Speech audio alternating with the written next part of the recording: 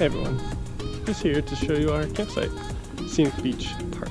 So you walk in, it's actually pretty big, I was kind of surprised. Some campsites you kind of have to park right by the main road and then you have basically your tent is right by the road, but we have a lot of room actually. We have our tent, there's actually probably room for like four tents, something like that. Cooking area over here. So we're gonna check out the beach uh, for a little bit and then we're gonna probably cook some dinner. We got the skewers here. Check them out. Uh, they're pretty uh, stout, very healthy portions, I would say. Start flipping those and hoping they uh, cook pretty quick because I'm getting hungry. Scenic Beach State Park is near Seabeck, Washington, on the west coast of the Hood Canal, and is about an hour and a half drive from Seattle.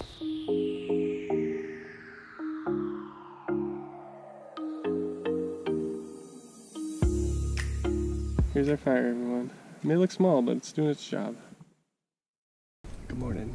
Um, just woke up. I'm making some breakfast. Gonna cook some sausage, bacon, and uh, maybe eggs. We'll see. We got the fire going, got the bacon going, and the sausage. We had a great breakfast of bacon and, and sausage, and now we're just hitting the water for a little bit before lunch.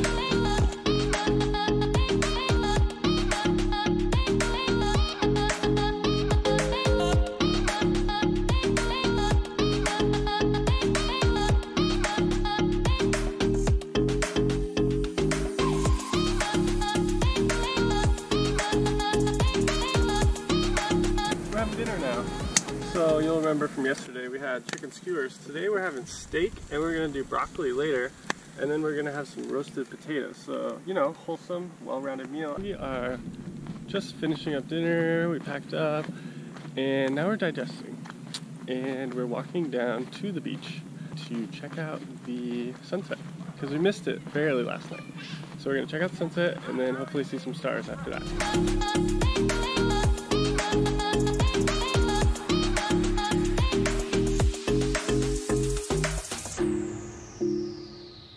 Ooh, last night we had s'mores. It was very delicious, but a little too dark to film. We didn't end up seeing the meteor shower. There was supposed to be one last night, but we didn't see it because the clouds rolled in, so that was a bummer. But I did see a couple uh, the night before, which were pretty cool. Um, so now we're just gonna have a quick fire and get warm. We ran out of wood last night, so we are trying to make our own little fire. This has been our fire for the past hour. An hour straight of this. Alright guys, we packed up. We're saying goodbye to our camping site now. The tent is gone. Chairs are gone. The fire is gone. What do you think, Jess? We're not ready. We want to live here. We're not ready to go. We're gonna try to come back to this exact campsite uh, next time. Next week?